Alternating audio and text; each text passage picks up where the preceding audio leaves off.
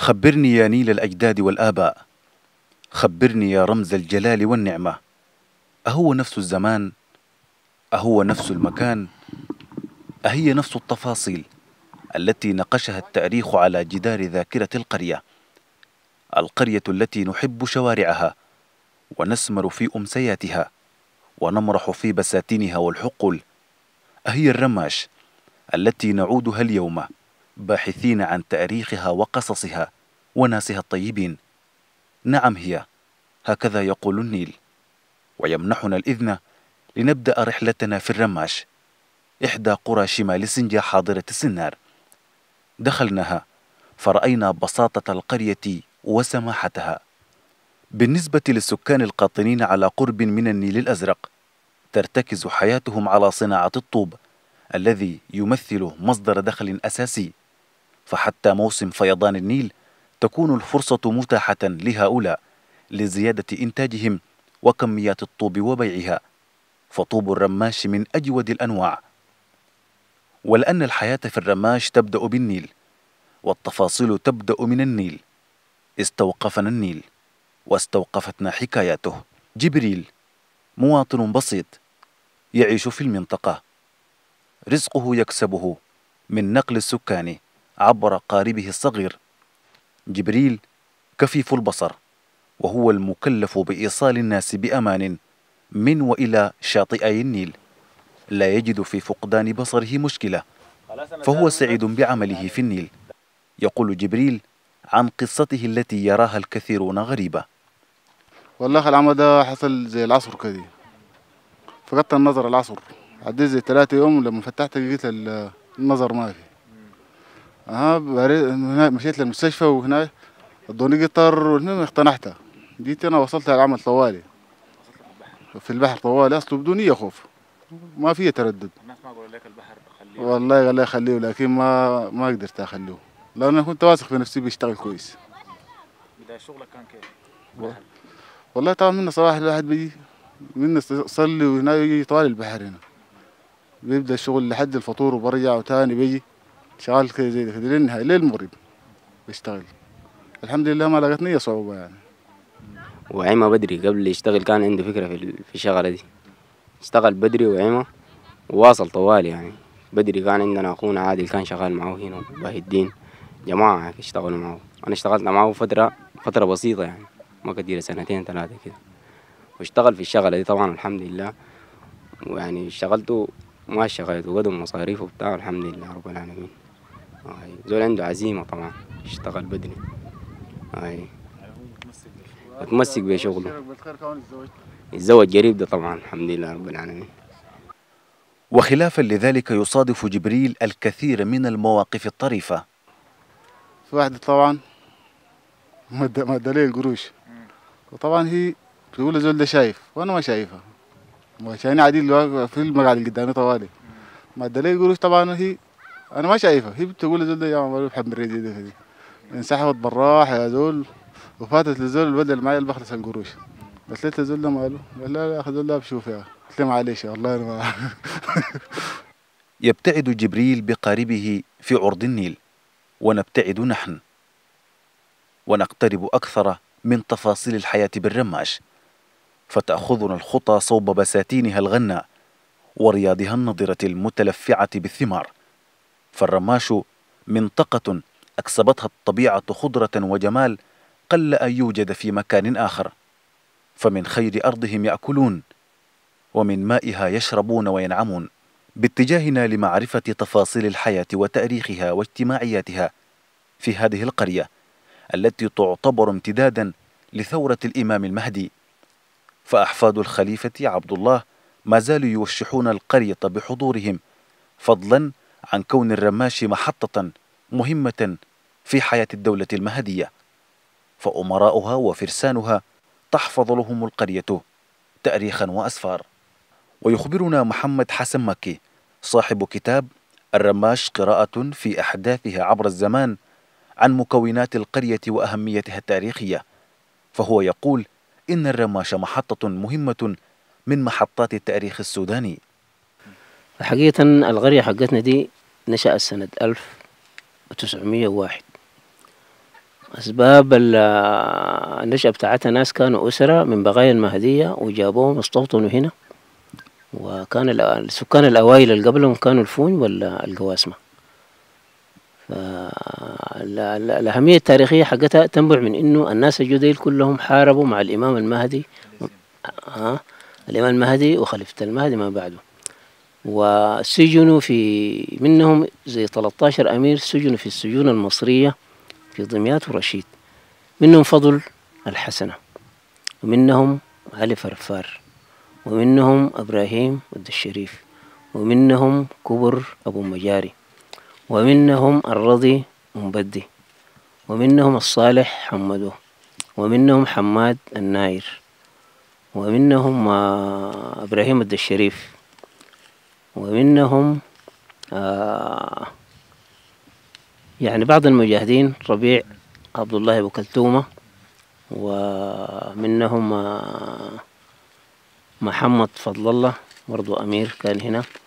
ولأن الرماش تجسيد للسودان في أبهى صوره الاجتماعية المترابطة نجد إلى جانب قبيلة التعايشة أكثر من عشرين قرية أخرى تتقاسم المكان كما يتقاسمون إكرام الضيف فعندما يحل الضيف ينبئ منظرهم عن أصالة المعدن والخصال فكل قبيلة لها في الرماش متكأ وأي متكأ؟ إنه متكأ وريف.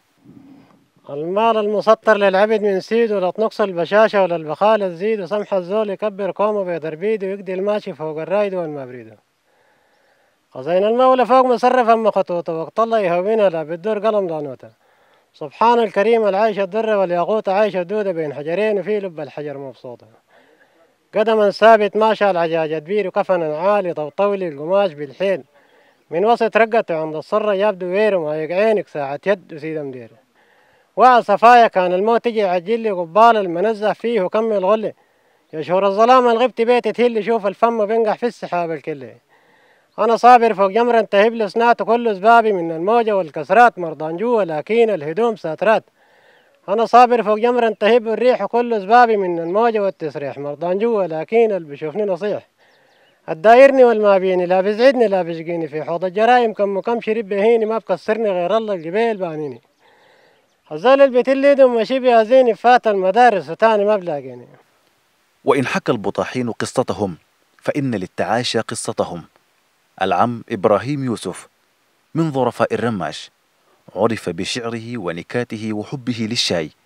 ليس على طريقتنا وإنما على طريقة البرامكة بغرب السودان. البرامكة؟ بأيدوا الشاي وبأيدوا الشاي ويطلبوه. ونحن كذلك في الرماش بنطلب الشاي ونشرب الشاي لما ما نلقاه برامكو آه البرامكة برامكو قال شنو؟ آه. برامكو قال شنو؟ البرامكة اللامين قال استنتوا الحكية. أديم الناس القديم حاسة بقي ما فيها. تاخذ المرة الحرامية تقتل الرقبة ومالك يشيلوه فوق الدية. الشاي قالوا شنو؟ الشاي قال بغداد مشروب الغلاد. كبر التلقيمة ورغرغ البراد. في الدنيا شكر وفي الآخرة ذات البابورة بنفس قطاع الفرقات شيخنا الطاهر كبير الدرجات بسط الفيال من الجبال وفي منزل السيد يحيى الخليفة عبد الله خليفة الإمام المهدي بالرماش. يغمرك إحساس بعظمة التاريخ السوداني وأنت تتنسم عبق الماضي الزاهر. في هذا البيت ملمح آخر من حياة الناس هنا. فهم يعالجون بالقرآن فسر القرآن وعظمته. دفع بها أحفاد الخليفة عبد الله خيرا وبركة لخدمة العباد. فكم من مريض دخل هنا فخرج معافا بإذن الله تعالى. كان آه، يحيى الخليفة من ضمن أخوانه وأولاد الأمراء وأولاد الخلفاء وأبناء المجاهدين. من ال- الناس اللي أسروا ودوهم آه، رشيد آه، في مصر هناك. فعدى فترة في مصر. وهو زي آه، اشتغل مع ودوه يشتغل مع سكافي آه، وخصوصا البيت. طبعا البيت ده أصبح يعني آه، منطقة روحية وقبلة زي ما تقول روحية وبيت مشهود ومعروف له في كثير من مناطق السودان. فهو طبعا ابتدى ال- ال- العلاج الروحي. هو بالعلاج يعني زي ما نقولوا نحن بالمستوى شايفينه حس في الوقت الحاضر. فبعض أهلنا اللي هو عمامنا كبار وحسي يعني حيين يرزقوا. قاموا سألوا جدا يا احد قال له انت بتعالج الناس كيف؟ قام قال لهم الناس أنا ما بعالجهم الناس بيشفيهم ربنا سبحانه وتعالى. نحن بنقدم لهم موية الراتب هو اللقمة الحلال.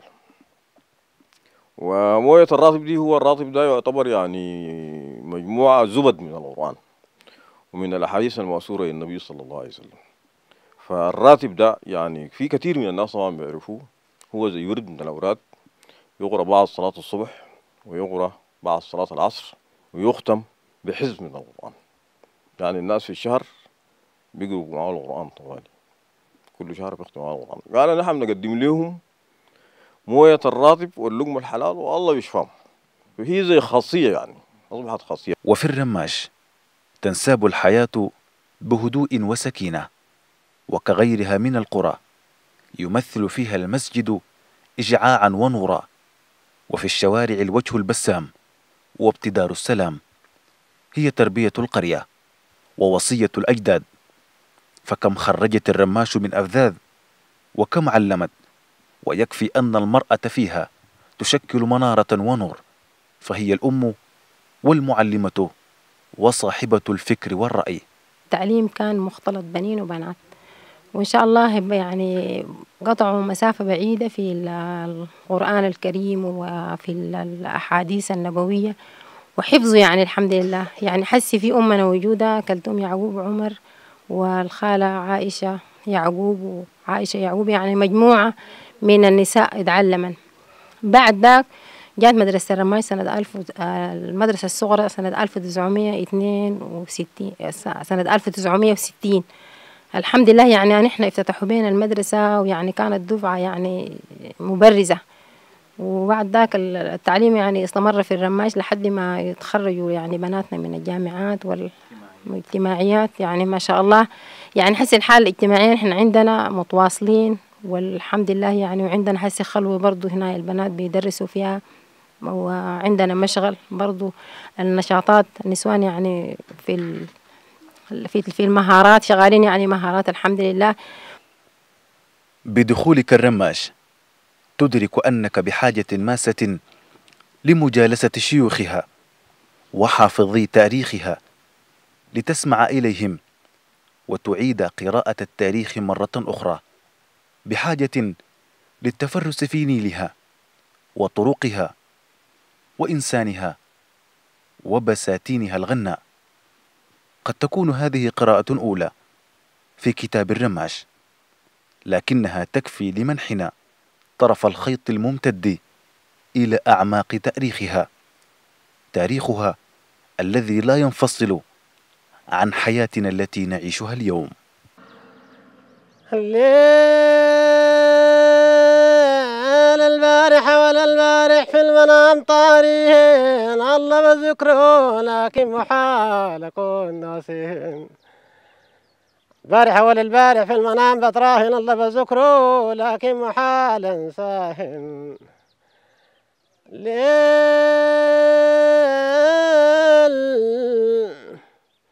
قال يا سيدي عبد الباقي أنا في السجن والقيد والرمساقي. اخوان الماي لابسين حرير وطواقي ديك البديات مارق العصير اللي مترحمان الراقي. هي تحالف ما بين الإنسان والنيل والقرآن. هي الخضرة والجمال والطبيعة. هي استلهام لأنصع صفحات التاريخ السوداني الثورة المهدية. هي القرية السودانية بكل تفاصيلها وروعتها وإرثها وحنينها. هي الرماش. منها أحييكم نزار البغداوي لبرنامج كاميرا الشروق